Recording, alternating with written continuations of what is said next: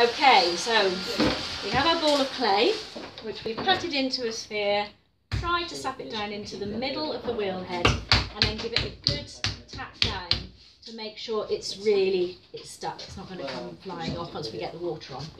Right, sit up nice and close to the wheel tray. The wheel, if you have a wheel that goes two ways, should always go anti-clockwise. Then water on your hands, water on the clay. Anchor your arms on the wheel tray and then just press down with all of your hands, just to make sure it's well and truly stuck. Try and use every single part of your hand. You can see the clay covering all of your hands there. Okay, more water. Now we're going to get the clay into centre. You can see at the moment it's a little bit wobbly, so we need to get it running true. To do that, if you make right angles with your hand and slip your fingers over each other, you're using the heels of your hand and this bottom part of your hand to really push and come for the clay to come up, like so. Okay, still see it's running out of centre. From that position, you bring your elbows in, your thumbs come together on a diagonal. Now you're using the base of your thumb to press down, not the actual thumbs themselves, the base of the thumb. And these fingers just keep the clay contained, but don't cut, don't push underneath, otherwise you'll end up with a mushroom shape. So on an angle, push down, slightly away, and then let the fingers at the back slightly slide apart to encompass the extra width of clay. Off like that. If you find muscle-wise it's quite difficult to do that, when you're coming back up, put your hands back into that position, straight onto the wheel, and then turn left anti-clockwise 90 degrees, like that. If you do that, so your wrist is bent, your elbow is now in your hip bone, and this hand has to come out here, so you're leaning further out.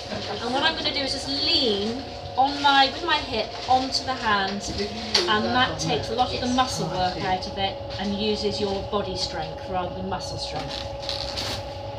Back round, thumbs on the top, base of thumbs on the shoulder of the clay, and push down. Okay, so it's just those two movements to get the clay in centre. And this bit's called coning clay.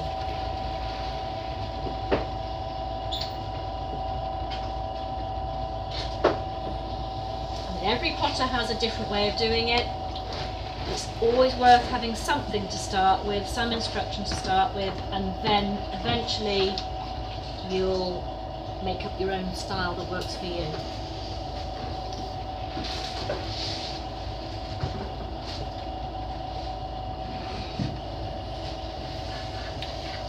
Usually um, about half a dozen times minimum up and down. While you're learning it may take more like a dozen times.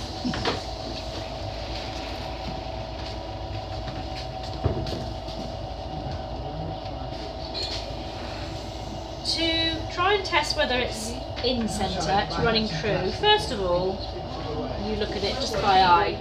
Now that's not wobbling around anymore, it's running nice and true, so I would say that's in centre. But to double check, steady one hand with the other, put a finger on the clay, and if the pressure on your finger's the same all the way around, then you know it's in centre. Using your thumb, just slightly flatten the top, because the next thing we're going to do is find the middle of the ball of clay. Draw a circle, push that circle in until it completely disappears. That's your bullseye. Make a slight indentation so you've got something to aim for.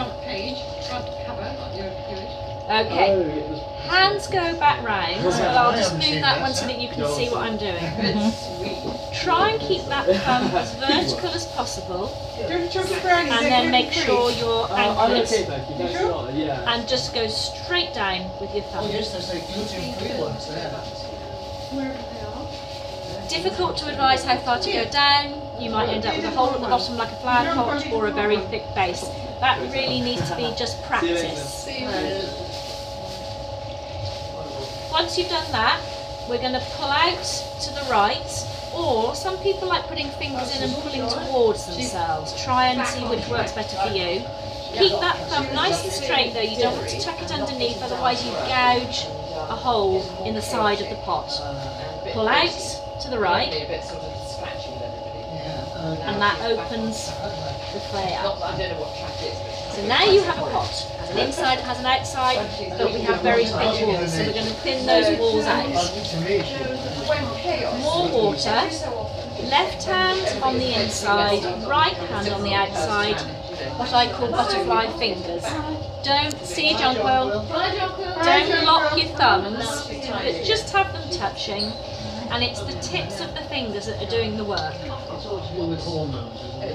Down the bottom, gather the clay between your fingers and then gently and carefully start to pull those fingers up while you're thinning the clay. If you run out of water halfway up, gently let go, get more water on the pot and then complete the pull. Don't let your clay drag on your fingers. Now, we keep up that, it's just between the fingers, the butterfly fingers, you just keep that movement going until you're sure that the clay is thin enough. Oh, just for a peaceful life. Every now and again you might want to use a sponge to take the water out so that you can really see the shape of the inside of the pot. Charlie is now Okay, one more little pull just to see. I've got some. Yeah, things are black and white. aren't They really are. they? It's not bad. feel the whole section and see if it's thin enough, which that now is. Because she's being famous. As the as the pot gets thinner, the pressure you use with your fingers gets less. Bye, John. Hi, John. Bye, John. What are you doing tonight? Okay, so Oh, your go to the final. Now you've got Which your bowl. Your Uh, final thing to do is to shape. So we know it's thin enough. Yeah. Yeah, All we want to do now is make And sure we're happy with the shape. So if you want to make it slightly more bulbous here in what we call the belly of the pot, then you need to pull out with your left hand. As you just support with your right. You're not pressing in and thinning anymore, you're just supporting. So, back to the butterfly hands, but this time the pressure is with the left hand, and rather than fingertips, you're using the flats of your hand to support the wall of the clay while you're pulling out with this one. So,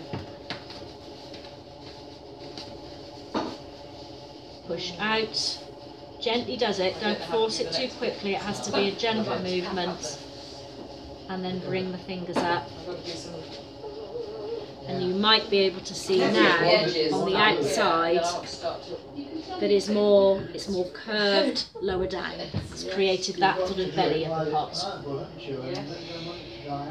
In order to take the pot off the wheel, we need to first of all get what we call this skirt of clay, get some of that off. So using your turning tool, just pushing the head of the turning tool slightly in, you can see a curl of clay that comes off. A plate with an edge. Clean it off. edge to be loose. Just tilt the turning tool slightly so it doesn't roll back up onto the pot, totally quiche, but that excess um, clay.